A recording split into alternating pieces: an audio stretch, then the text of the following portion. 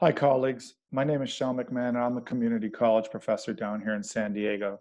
And like many of you dealing with the coronavirus, we have to put a lot of time into figuring out how to test and quiz our students online.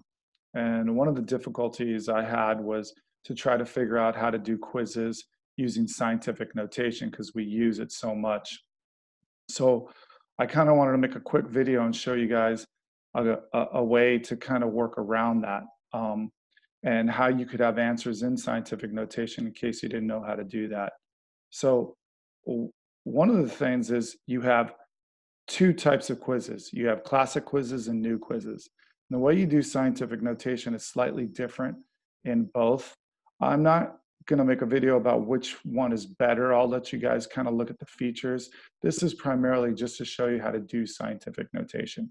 So I'll do one of each. I'll start with classic quizzes, just because some of you might be a little more familiar with that.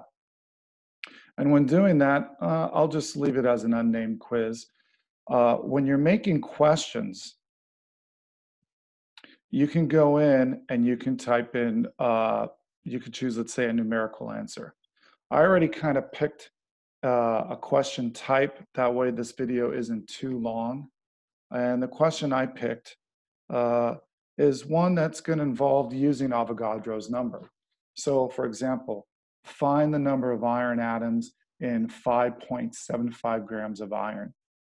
So one of the things you want to do is for students to enter scientific notation, they have to use lower e in classic quizzes.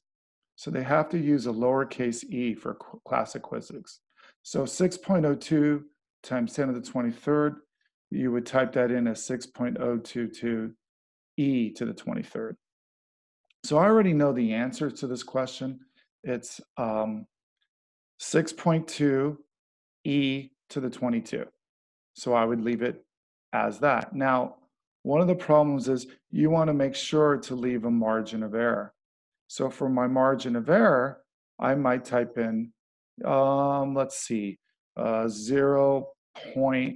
3 e to the 22, which is roughly, it's, it's roughly 5% error. So I'm going to go ahead and save this. And what I want to make sure is that this would actually work. So if I save this, I could edit again, but what I can also do is preview. So I want to do a preview and I'm going to type in the answer 6.2 e to the 22 and it should work.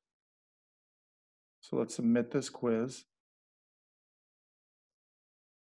And you see that for the students, it's going to work. Again, you have to have a margin of error. I like doing about 5%.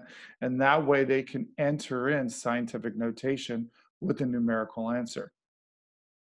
It's very similar if you do it with uh, new quizzes. The major difference is if I go to new quizzes, it's a little bit different. Um, and I'll just say practice quiz for a title. Come down here, save. As soon as I save it, it should allow me to build a quiz. If I go here and I pick a question type, I can go again to numerical answers, click that, and then I can type in my question. And it's very similar. The major difference is it's a capital E in new quizzes. So instead of a lowercase e, they have to do a capital E, and that will get them the right answer. So again, it's the same question, same answer. I'm going to type in 6.2, but instead of lowercase e, capital E, because this is new quizzes, to the 22nd, and it puts it automatically in scientific notation for me. So um, you can go ahead, hit done when you're you're finished.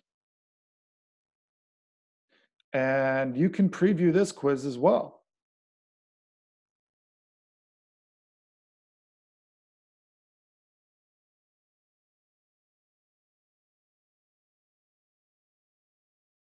I was trying to make this a quick video. Sorry, my internet might be a little slow. It's taking a little while to load here.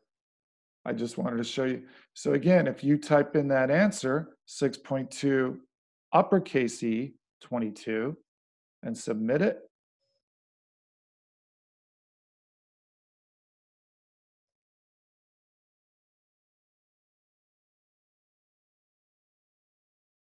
it shows that I got it right and it puts it in scientific notation. So I hope that helps. Again, colleagues, if it's classic quizzes, you're going to do a lowercase e. And if it's new quizzes, you're going to do an uppercase e. Thanks for watching, and I hope that helps.